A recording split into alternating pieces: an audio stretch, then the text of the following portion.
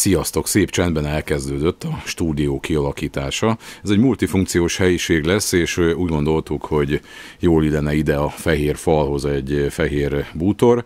Ez bizony nem volt tervben, hogy egy teljes ifjúsági bútort megvásárolunk majd. Egy komódot szerettünk volna csak elhozni, ami része volt ennek a garnitúrának, de azt nem adták önmagában, úgyhogy el kellett hoznunk az egész bútort. Úgyhogy most hoztuk el utánfutóval. Ebben van egy ilyen üveges, vitrines szekrény, valamint ott láthattok egy íróasztalt, illetve van benne egy, egy nagyobb komód is, azt ott láthatjátok.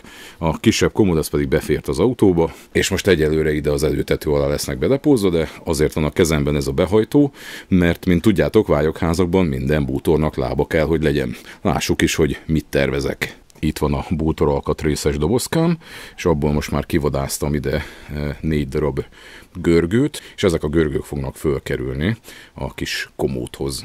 Na tehát így rácsavaroztuk ezeket a görgőket, tehát így ebbe az irányban ki lehet húzni őket, és ez már annyit emel rajta, hogy át tudja járni nagyjából a, a levegő, ez nagyon fontos. Keskeny szekrényről van szó, tehát ilyen esetben nem kell túl nagy lábat alá tenni, de mindenképpen kell, én azt javaslom, minden szekrénynek legyen lába.